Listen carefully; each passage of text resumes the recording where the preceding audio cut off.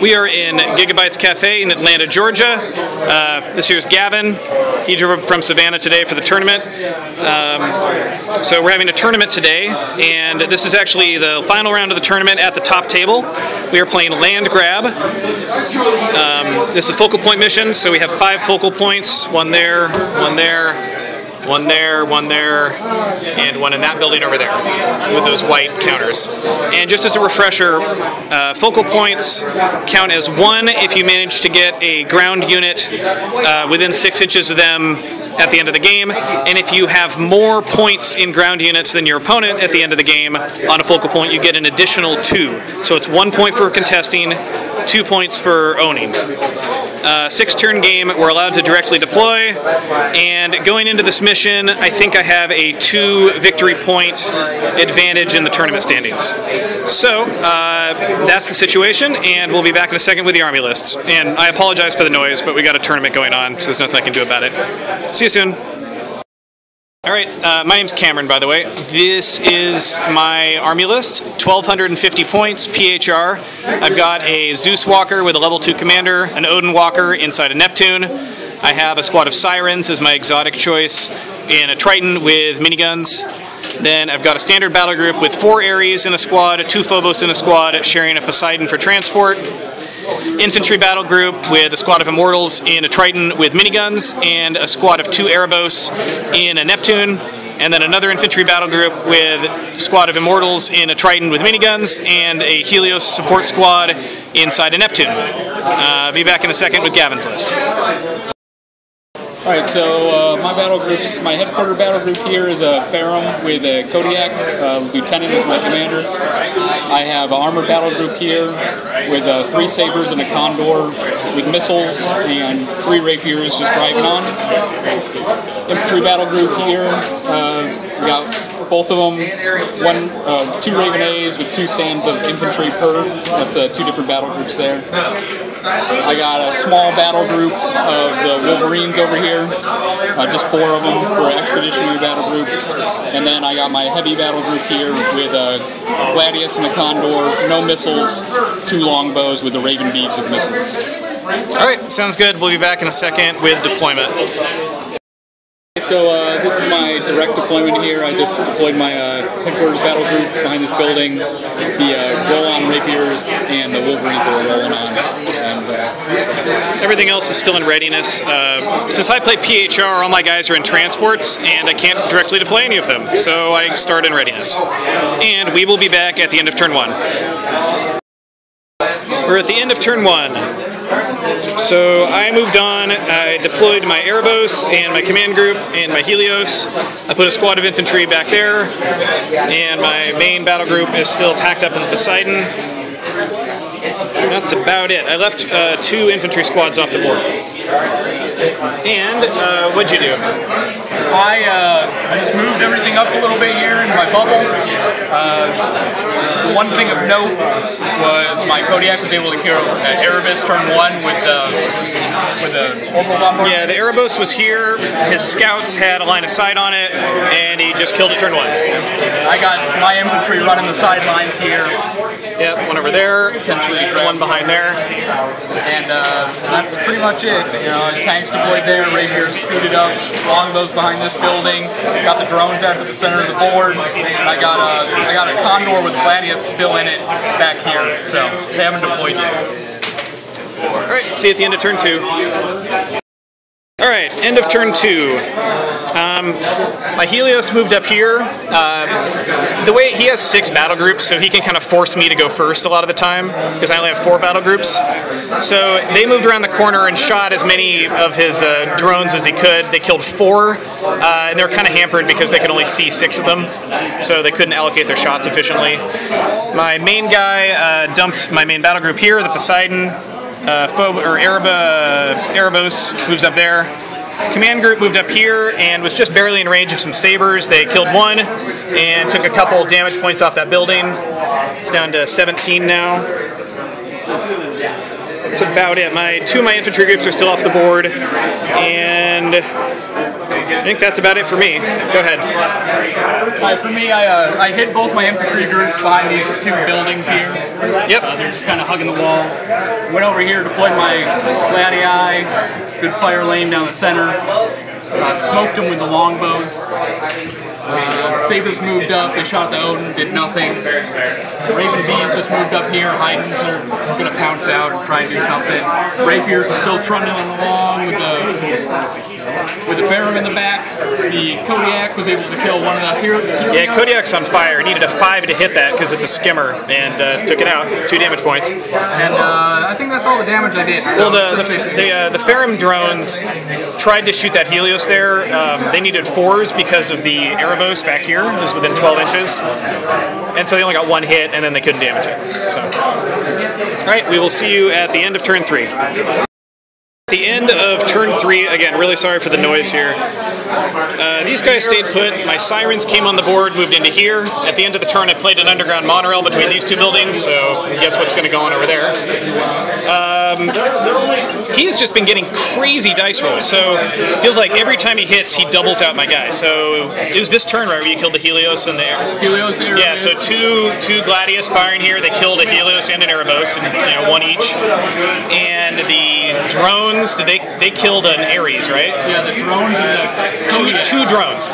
Two drones. Two drones killed one Ares. They rolled a. Uh, single ender. they rolled they rolled the six they needed to double it out, and then the Kodiak, third turn in a row, killed a two damage point unit. So it's killed a Helios, an Erebos, and now an Ares. The, the Kodiak is just going crazy. And uh, the Phobos shot some drones. The Ares killed a Saber, I think, killed a Saber. Um, this infantry squad got into that building, and the, uh, the, the Triton is going to the deck behind it. Oh, and I damaged his Gladius with my command unit over there. All right, and what'd you do? Well, you went over most of it. Uh, I put three points on the Poseidon as well. Oh yeah, his his Wolverines put three points on the Poseidon. Four Wolverines. Crazy, crazy shooting. So yeah, that, that's about it. You pretty much covered it. I just kind of advanced a little more. Yeah, you got your infantry in the in the two side focal points now. So one over there, one over here, and I think that's about it. All right, we'll see you at the end of turn four.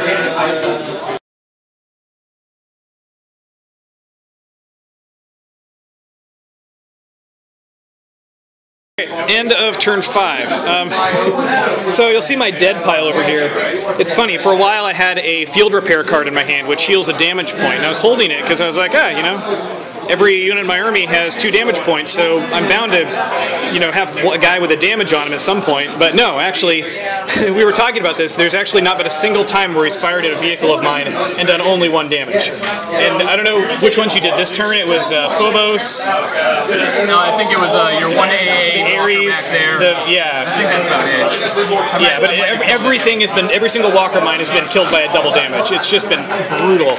All right, so anyway, this turn um, I killed a bunch of his Wolverines with stealth missiles. My dropships rolled pretty well, taking them down. Um, my infantry went into here, and they've got joined obviously. Uh, they're standing put. My sirens are in there. He decided to leave rather than fight them. Um, was that last turn? Was this turn? That was Yeah, last that was turn. Oh yeah, I'm getting confused. Um, these guys, how many turns have they been firing at your Gladius? Like, Two or three now.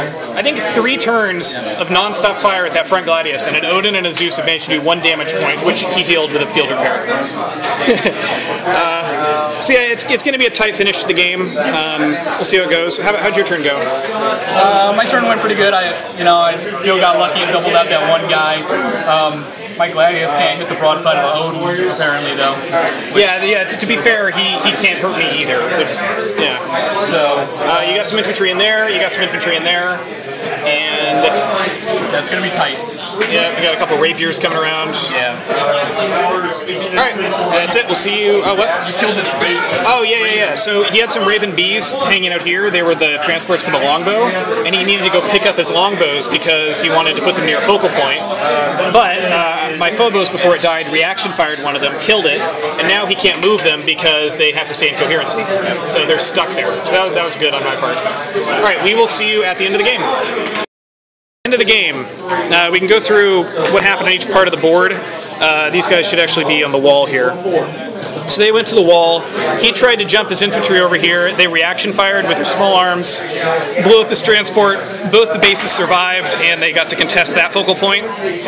Um, my Odin and my Zeus took their shots at the Gladius again. So four turns of nonstop shooting against a Gladius in the open, hitting on twos, and it managed to do one damage point. It's just crazy.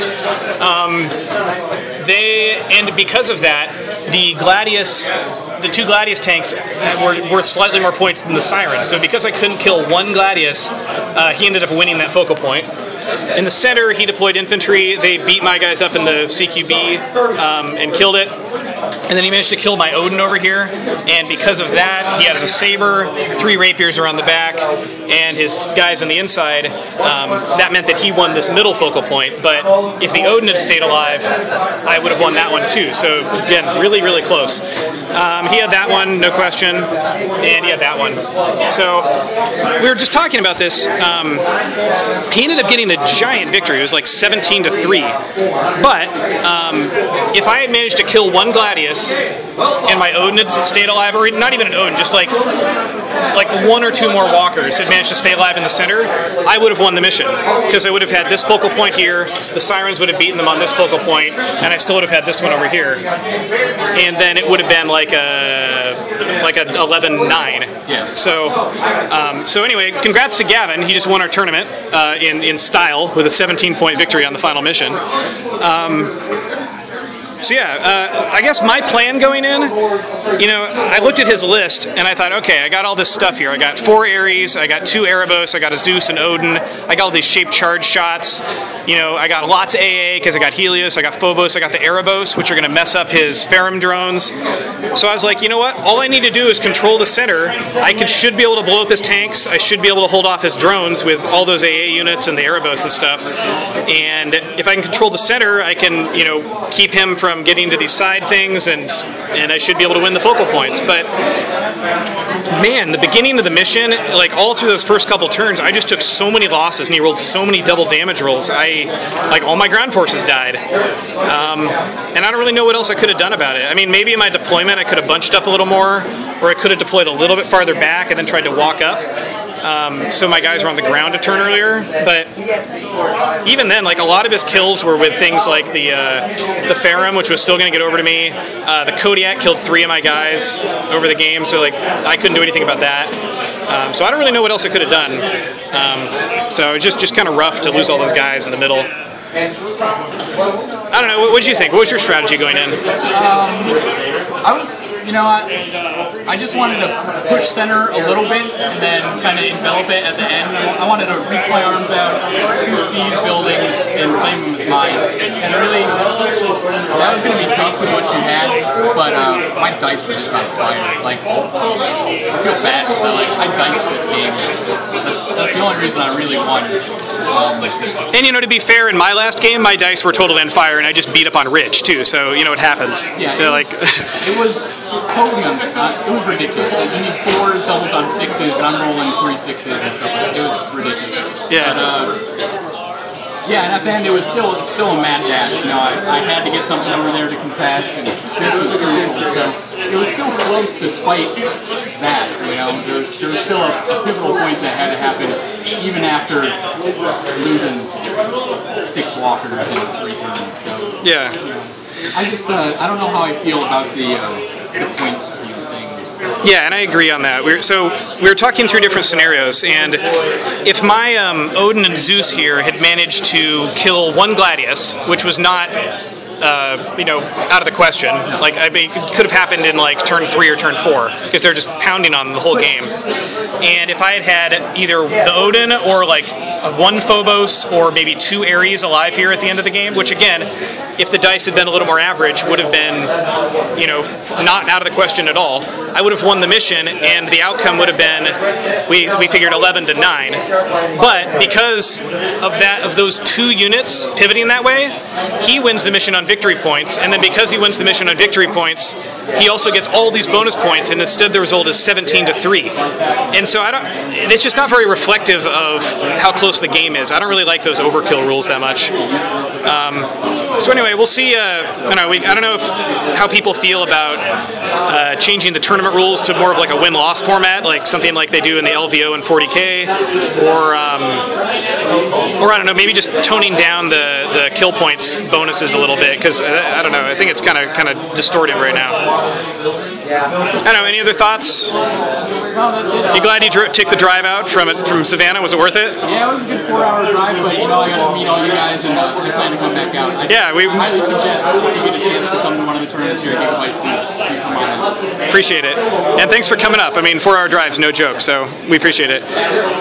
All right, so that's it. Um, we'll, uh, I'll be posting up on the Hawk forums pretty soon when our next tournament is, and uh, everyone should come. Have a good one.